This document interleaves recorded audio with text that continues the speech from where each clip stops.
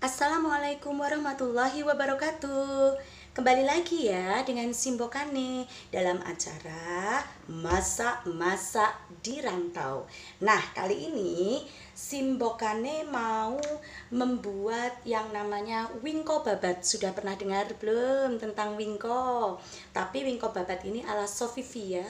Jadi wingko yang dibuat di Maluku. Kan namanya saja masak di rantau ya. Oke langsung saja ya. Berikut bahan-bahannya. Satu adalah gunakan tepung ketan sekitar 1 kg kurang lebihnya. Kemudian dua butir kelapa yang diparut memanjang. Kelapa ini adalah kelapa yang muda tapi agak setengah tua STW.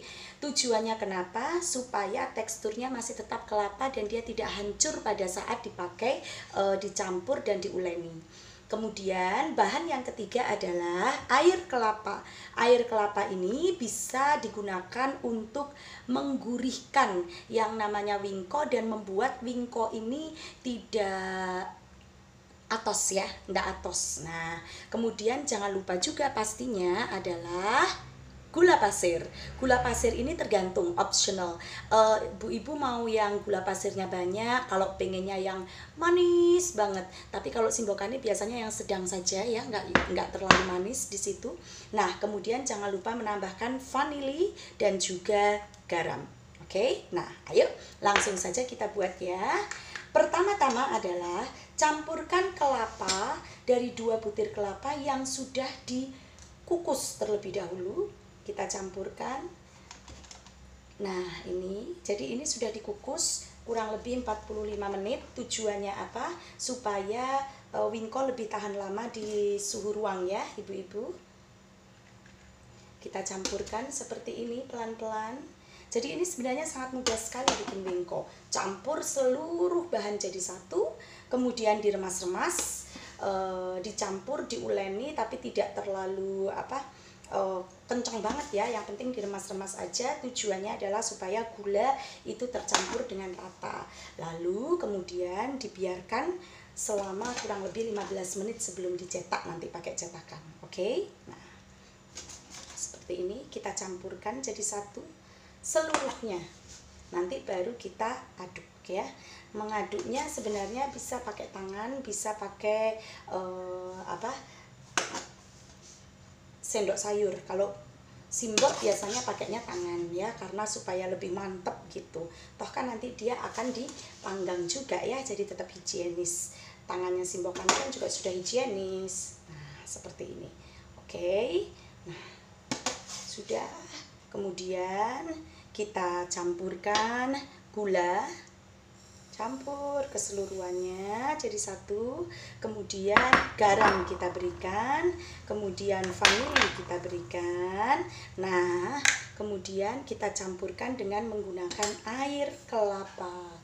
Nah kita campur kita aduk. Jangan khawatir ini membumbung tinggi tapi nanti lama kelamaan dia akan kempes seiring dengan mencairnya gula. Nah jadi kita pelan-pelan saja seperti ini diaduk pelan saja tidak masalah tidak terlalu apa e, penuh ini. Nanti dia akan mengempes sendiri pada saat mau dicetak ya. Ini hanya penampakannya aja yang luar biasa banyak ya gitu jadi terus kita bikin pelan kita aduk. Nah seperti ini. Nah tapi biasanya simbokannya lebih senang dia pakai tangan ya. Karena nanti tangannya kan udah hijau jadi udah bersih ya.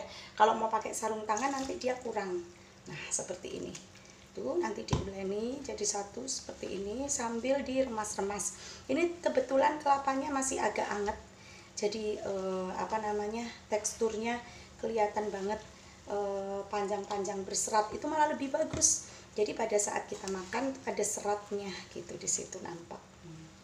Seperti ini. Terus kita aduk pakai tangan juga nggak apa-apa. Lebih saya lebih senang pakai tangan loh. Bu ibu bukannya kita jijik ya? Atau kita uh, apa kita bilang tuh kemproh apa itu sih? Oh nggak higienis no. Karena di sini kan simpokannya juga sudah resik sudah bersih sudah pakai apa uh, benar-benar pakai sabun ya pada saat uh, sebelum menguleni ini gitu. Jadi supaya benar-benar ini mantep. Karena kalau dia hanya diuleni pakai tangan yang dikasih apa itu sarung itu kayak kurang kerasa gitu kalau simbokan jujur aja nih ya gitu. Namanya saja kita masak kan masak rumahan kalau rumahan ya sederhananya seperti ini. Oh iya lupa. Ini kan harusnya begini kan nih biar bersih. Jadi satu selesai. Nah terus kita masak eh apa? Kita uleni seperti ini. Tuh terus saja. Nanti setelah diuleni ibu-ibu itu nanti dibiarkan saja sekitar 15 menit.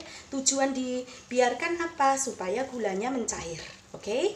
nanti Simbokane akan e, kembali lagi dengan pada saat pencetakan. Jadi supaya ibu juga sudah tahu nanti semuanya. Terlebih orang-orang yang ingin bikin wingko, tapi kok wingkonya e, ini ya apa keras ya? Kok wingkonya kok enggak e, teksturnya enggak halus, enggak lembut? Gimana ya caranya? Nah ini dia triknya. Hanya sederhana.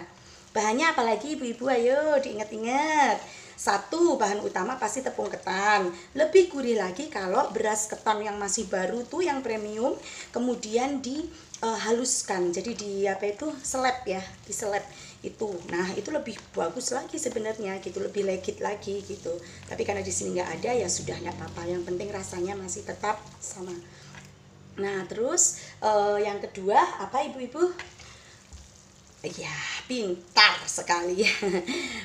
dua butir kelapa. Kelapanya kelapa yang muda setengah tuh wah gitu. Supaya tekstur eh, serat-serat serabutnya dari kelapa itu terlihat dah seperti ini. Sudah jadi deh. Tuh. Tuh ya. Kemarin tuh ada yang nanya itu kok mejanya lucu? gitu. Ya mejanya ini nih nih nih nih. Uh, karena dia pantai ya tuh. Coba lihat tuh. Uh, tuh mejanya ada apa namanya uh, shawlnya ya. Ada uh, kerang ada apa macam-macam nih mejanya cantik kok. Tapi ini bukan meja simbokan nih loh. Ini mejanya bapak yang punya rumah. Oke, okay, alhamdulillahirobbilalamin. Sudah selesai. Nanti untuk takarannya, uh, Simbo akan berikan di deskripsi ya supaya lebih jelas. Nanti kita kembali lagi pada saat kita mau mencetak dengan cetakan uh, pukis boleh, dengan cetakan apa apem boleh, dengan cetakan kue lumpur boleh. Oke, okay? sudah segini saja. Uh, kita diamkan ini selama 15 menit sambil kita persiapkan segala sesuatu untuk memanggang. Oke, okay? that's it. Di perantauan, kita sebagai emak-emak nggak usah takut. Kita bisa melakukan apa pun, apalagi ketika ingin bersedekah dengan masakan kita sendiri. Oke, okay? terima kasih. Assalamualaikum warahmatullahi wabarakatuh.